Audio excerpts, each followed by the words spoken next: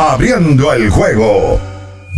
Ayer Andy Otero, cuatro entradas de una sola carrera. No necesitaban porque su primera salida no fue muy buena, solamente había tirado dos episodios. Pero después de ahí, el bullpen de las estrellas, cinco entradas de un solo hit. Y ese bateo de las águilas, que ya lo hemos mencionado aquí y hemos dado muchísimas estadísticas, eh, tiene que eventualmente despertar. Pero las estrellas, ese bullpen otra vez saca la cara, lo ha hecho en las tres victorias, el, el relevo ha estado fenomenal.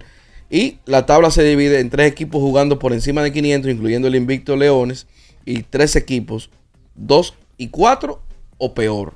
Así está la tabla de posiciones. 809-563-0937 y 221-2116. Tengo un comentario sobre las estrellas. Pero yo no he dicho que no, va, no, he, no, he, dicho que hemos terminado el tema. Ayer, a las 6 de la mañana, las estrellas emitieron un comunicado diciendo que no había acceso a la prensa al pues, terreno. Entendible eso. Entendible, aquí asentimos todos y, y, corroboramos en que esa era la mejor decisión para salvaguardar la integridad del, del, terreno que estaba recién entregado. Pero yo estoy aquí contando más de 45 personas en el, en el parque. Aquí el colega de San Pedro de Macorís, Manny del Rosario, colgó, posteó una foto donde además de los jugadores de, de, los dos equipos que están en los jardines, sin temor a equivocarme, hay más de 45 personas en el terreno. Pero de manera inexplicable. ceremonia. Está bien, Víctor, pero si tú vas a hacer una ceremonia. ¿Y que tú quieres que la hagan en el parqueo? No. Ok, identifique esa gente que están ahí. ¿A quién tú le dices que no entre? No es que no es que no hay que, no hay que no, no, perdón. No hay que identificar a nadie. Si hay no, un ceremonial de primera bola, pitcher y catcher y fotógrafo y ya. No. ¿Por qué tiene que haber 45 personas en el? Esas son las ceremonias el... del IDOM, lo hacen todos los equipos. Pero entonces, ¿por qué no, le niegan todo. el acceso a la prensa si hay más de 40 personas en el, en el parque? Más de 45. a eso? ¿Quién le dice ah, que no gente de los equipos. ahí? Mencióname uno. Ah, bueno, del Ministerio de Deportes. No. Discúlpenme, el comentario que hice no tiene validez. No tiene validez el comentario. Eh, Adelante. Poca validez, pero tiene. Sí, claro, claro. Eh. Ah, lo que se hizo fue, Alex, al final hubo una conferencia de prensa con Estrellas Orientales porque ellos tienen un salón. Nuevo, grande. Pero hablando en serio, eh, yo estoy de acuerdo con Alex porque si tú lo que quieres es proteger el terreno, creo que se pudo limitar la cantidad de personas en esa ceremonia de apertura. Y limitarla a cuántos, por ejemplo. Señores, las madrinas tienen que ir, porque ese tradicional intercambio se da. Tienen que ir por lo menos dos representantes de cada equipo, no más de ahí. Y quien va a tirar la primera bola también y alguna representación de la liga. Y de la familia. Pero de, 60, de, de, eh, complicado. No, la no, había mucha quién? gente. Había, no, la familia de, de, de, de José los, León. De José León. Bueno, pero es que yo te voy a decir algo. Nieta, la ceremonia de apertura la ceremonia de apertura de la liga fue aquí en el Estadio Quisqueya.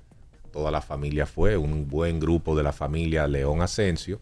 Le están dedicando el torneo muy merecido, pero dadas las condiciones del terreno de juego, la familia debía estar ahí, pero eh, si se quiere cuidar la grama, pudieron quedarse una parte del grupo, incluyendo directiva, incluyendo de personal, incluso hasta de oficina que estaba ahí, pudieron quedarse detrás y que en la ceremonia participaran los que iban a tener la mayor incidencia. Tú sabes para que yo cuidar el terreno como ellos estaban diciendo que la prensa no podía estar. Y yo estoy de acuerdo con Alex.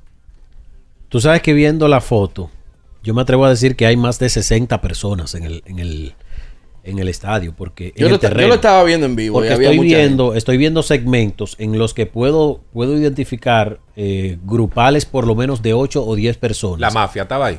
No lo, no lo puedo identificar, pero identifico segmentos. Oscar Valdés. Un, Oscar Valdés, un ejecutivo del baloncesto y de nacional la y de las estrellas.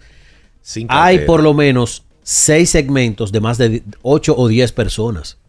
Además de los jugadores que ya mencioné que estaban en los jardines. O sea que para mí es un exceso eso. Sí, pero el picheo de las estrellas está duro, sobre todo el relevo. Esa es la carta de presentación del equipo. Jeffrey Young hizo su show ayer lo vi ponchando a uno y dando un salto y la gente volviéndose loca en el tetero. Lo hizo dos veces, ponchó dos.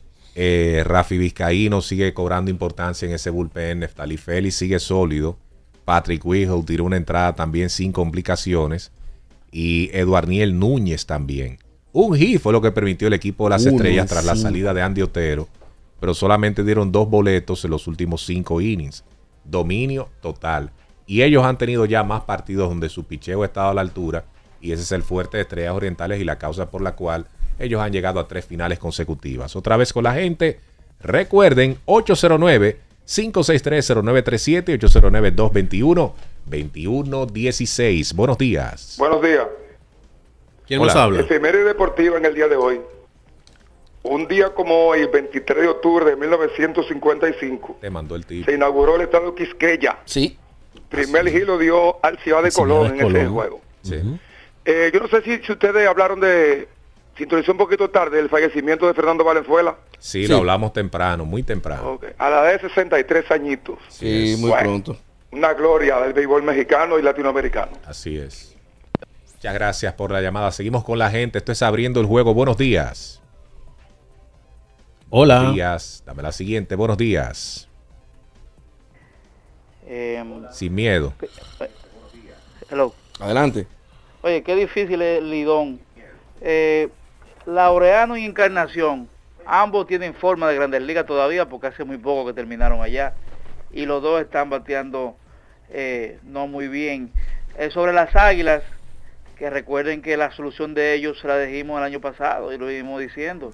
Rolling Fermín, hay que reponerlo. Desde que repongan a Fermín, empiezan a a, ganar. Y por último, resaltarle los dos honrones de Machete Maldonado Sí. y preguntarle a ustedes dos cosas. Número uno, si Machete va todo el año y dónde está José Vizcaíno, que no lo he visto todavía en, la ti- en los tiros de cámara. Gracias. Dodgers. Tiene compromisos con los Dodgers. Entonces, si ponen a Rolling Fermín, ya llegan las carreras para las águilas. ¿Cómo a él. Fermín? Y Eso lo fue lo que él dijo. Y no Félix Fermín. No, Rolling Fermín fue que él dijo. Ah, Rolling, Rolling. Don Rolando Fermín. Si lo ponen, llega la, la mística otra vez. Sí, estoy de acuerdo. Buenos días. Buenos días, bendiciones. Amén. Y quiero hacer una pregunta En a, serio que él se ve. a Luna. Sí, Luna, ¿cómo tú estás? excelente, mi hermano. está la pregunta. usted aquí y tu familia también. Amén. Yo quiero saber, eh, por lo que cambiaron a, al ser del FIDE del eco- que está con el escogido, y si el, el cambio que va a ju- el, el, con lo que hicieron el cambio va a jugar con el Licey y cuántos ha dado Lugo, que lo tienen de quinto y de cuarto. Eh, no se ha visto bien, dado el Lugo, esa es la realidad, pero eh, para eso mencionábamos que son los entrenamientos. el Lugo le dio, yo creo que fue el que mejores contactos hizo en la pretemporada y no, no lo vi haciéndose out en el playoff, en, el, en la pretemporada a el Lugo. Mira, a quien cambiaron por Ramón Laureano fue Willy Castro, de quien se espera que juegue por lo menos a finales del mes de noviembre o inicio del mes de diciembre. Todo va a depender de los planes que tenga el jugador y de la situación del equipo también. Vamos al cambio y retornamos en breve aquí en Abriendo el Juego.